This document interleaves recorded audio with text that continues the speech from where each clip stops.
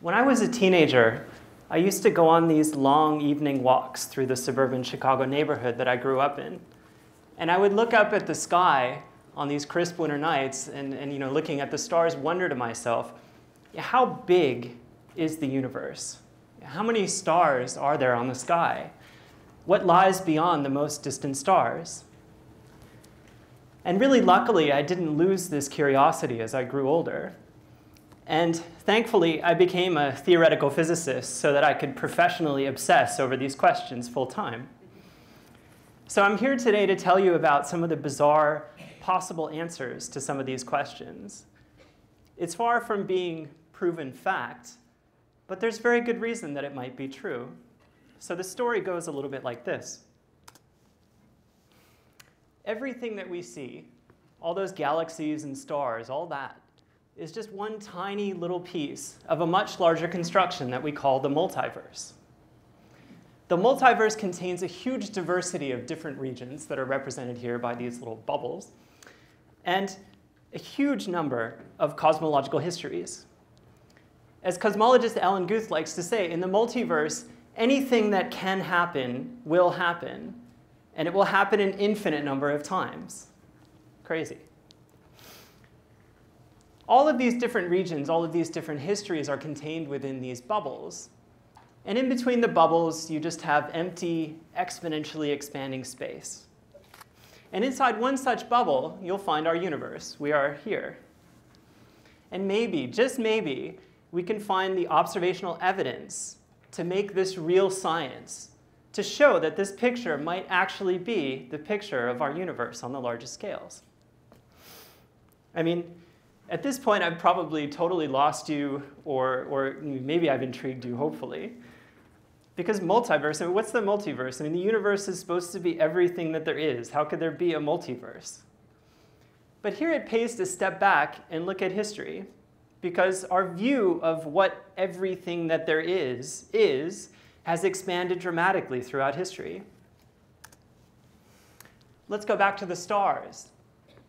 In the 16th century, when Copernicus taught us that the Earth and the other planets in the solar system actually revolve around the sun and not vice versa, uh, people thought that the stars were just points of light fixed to a giant celestial sphere located just outside the orbit of the last planets that they knew to exist at the time. And this sounds ridiculous to us today, but it wasn't until about 200 years later, about 200 years ago, that we actually knew that this idea wasn't right because it wasn't until then that we had measured the distance to the closest stars and thus shown that they, in fact, are not dots attached to some big sphere, but in fact that they're other suns. Our sun is just one among many different possibilities. And now, after the discovery of the first exoplanets, not until 1995, by the way, uh, do we know that our solar system is just one among many solar systems. And adopting this idea is adopting a sort of multiverse. We had to expand our view of what we thought everything that there was is. We had to go from a universe to a multiverse. The next step along this expansion of our horizons occurred when we looked outside the Milky Way galaxy.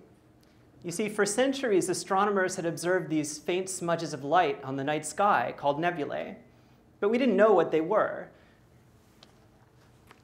Some people thought that they were contained within the Milky Way galaxy, because after all, that is everything that there is, according to them.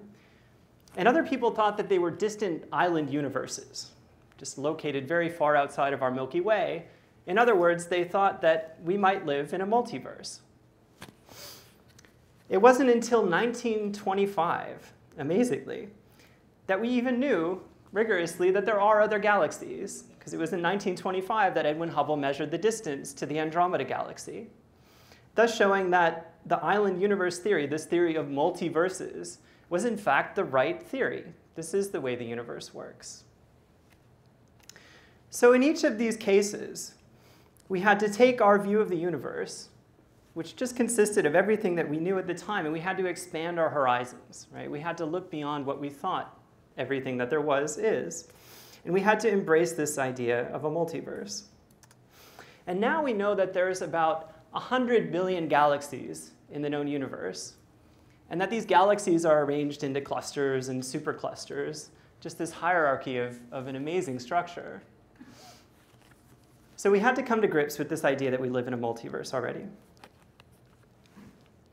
I think actually we each have to come to grips with the idea that we live in a multiverse at some point in our life. Because as you leave home, you realize that this small neighborhood, everything that you know, is actually just one small piece of a much larger and more diverse planet. You have to discover a multiverse of your own.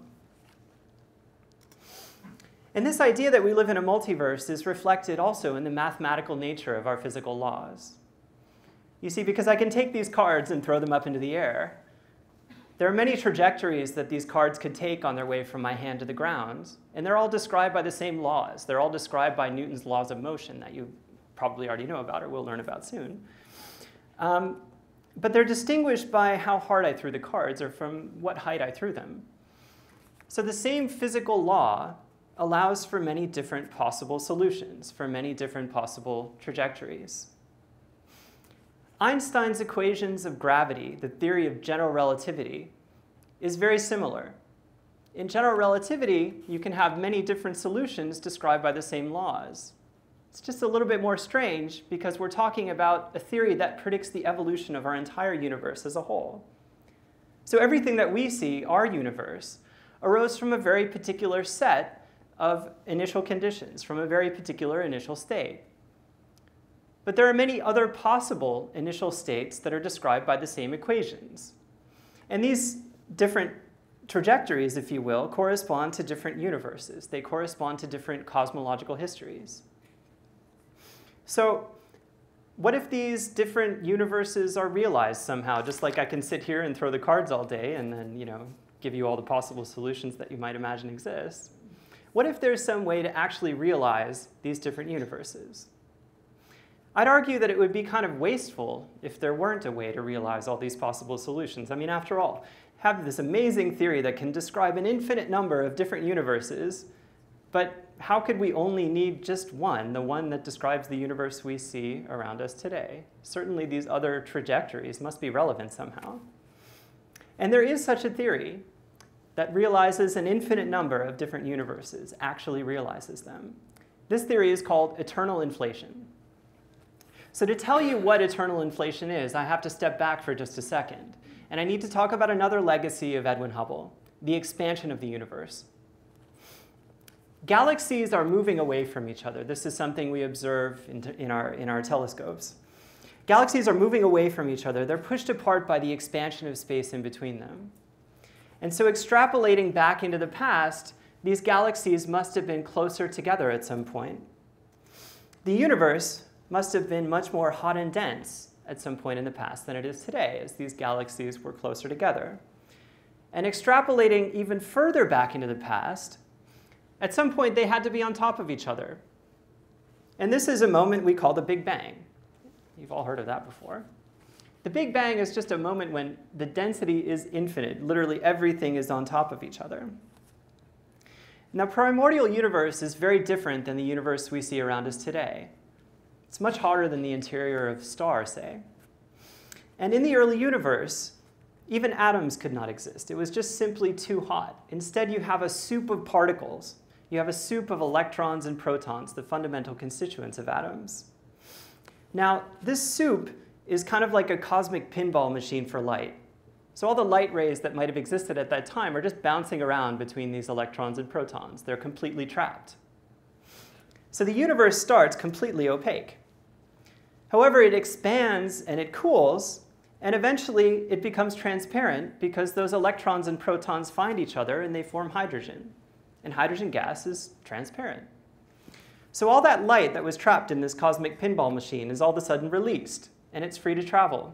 And in fact, we see that light today. It's called the cosmic microwave background radiation. You can watch The Big Bang Theory on your television. And no, I don't mean the sitcom. About 1% of the fuzz on a television screen is the antenna picking up this signal from the CMB. It's actually light from the early universe, formed about 380,000 years after the Big Bang. It's about 13.4 billion years ago, a long time ago. So we can detect this light today, and it has an amazing property, which is that it's almost completely uniform on the sky. So here's the sky kind of projected onto a paper. And in every direction, it's almost uniform. It's got small differences at about one part in 100,000, but for the most part, it's just the same everywhere you look. And this is bizarre because according to this theory of the Big Bang, these different regions on the sky had never talked to each other. They couldn't have communicated. There simply wasn't enough time in that 380,000 years for them to talk. And nevertheless, they have almost identical properties. It would be like walking into this room, which you think is full of strangers, and then all of a sudden you notice that everyone knows each other's name and they're like best friends. I mean, obviously your theory that they were strangers is wrong. They must have met before.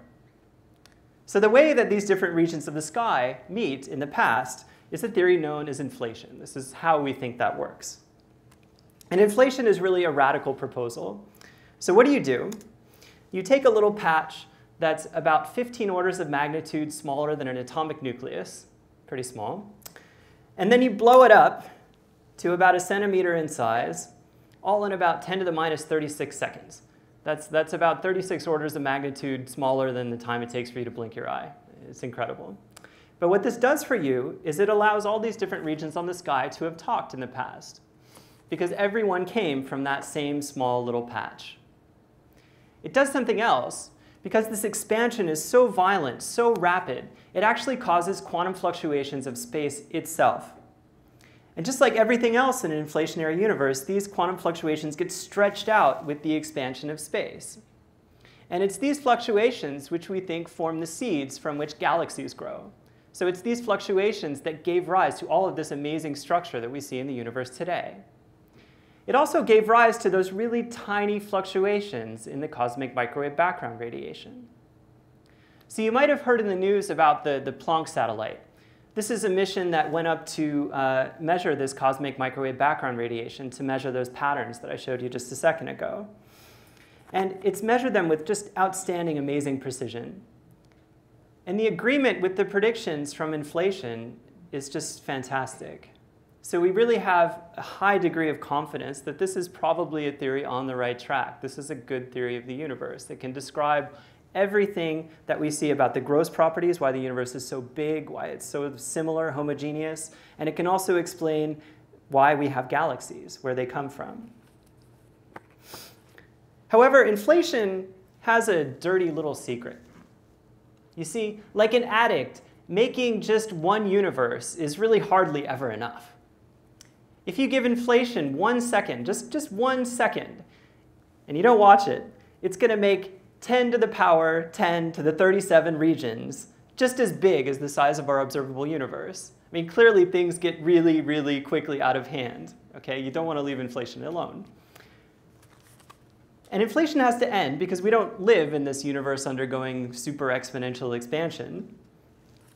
So in many theories, the way that inflation ends is, is locally. So the best you can do is to sort of carve out little pockets. So we can start with our little patch, we can expand it, and then a little bubble forms where inflation is stopped. A little bit later, you get more bubbles.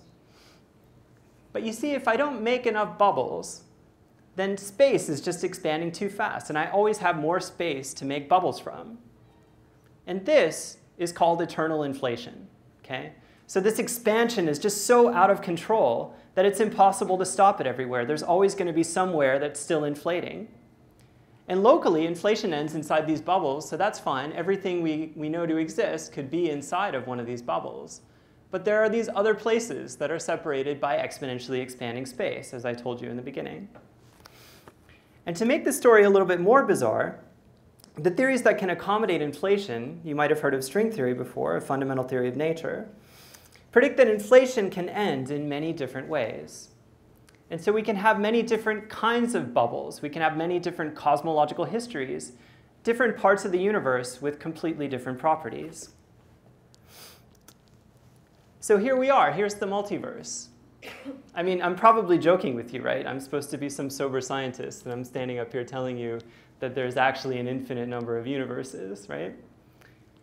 But you see, this follows from a, a, theory that, that was you know, scientifically tested, right? We know from the CMB that inflation is a good theory of the universe. And this is just a side effect. So it's something that you need to think about, something that you need to explore. And the first question you might have is well, okay, there are all these other universes, but is there any way that you can visit them? I mean, are they real in any sense? Can I go there and figure out what it's like to live in a universe with different properties? Unfortunately, the answer is probably not. You see, we're stuck inside this bubble, and it's got a pretty good head start on us. So even if we could travel at the speed of light, we're never going to catch the wall. We're never going to catch the edge of our universe. However, our bubble doesn't evolve in complete isolation. You see, because every once in a while, universes collide, literally. And we can't go into the lab and you know, collide some universes to figure out what happens.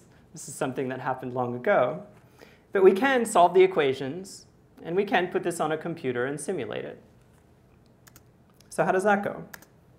Well, here's us and them. So we're inside this bubble. Here's some unfortunate other universe that, that we're going to cream in a second. So if we set these bubbles in motion, they expand, they collide. And just as in most contests, there's usually a winner and a loser. And I'm standing up here telling you about this today, so we were probably the winner. Because for the loser, there is this wall that's much more dense than brick, moving at about the speed of light, plowing into it. Too bad for them, but good for us. And the wreckage from this cosmic collision gets expanded out with the expansion of the universe. And it actually imprints itself on the structure of galaxies and on the structure of the fluctuations that we see in this cosmic microwave background radiation. And so we can mine this data. We can look for these signatures of collisions with other universes to figure out if this picture of the multiverse is actually correct. And so I stress strongly, studying the multiverse is a real science because we can go look for evidence of these events. And we, I can tell you, you know, I can tell you a constraint on how many of these events there could have possibly been in the past. And as we dig deeper and deeper, we get better and better data sets. We can place better and better constraints on this idea. Or maybe we can find evidence that it's true. So what if it was true? What if we do find evidence for these other bubble universes in the cosmic microwave background radiation? What would that mean? Well, we would have to expand our horizons again, right? Our universe now would just be one among many. So the Earth, you know, all the life and landscapes, peoples and cultures, this would be some unimaginably small, some infinitesimal sampling of the possible.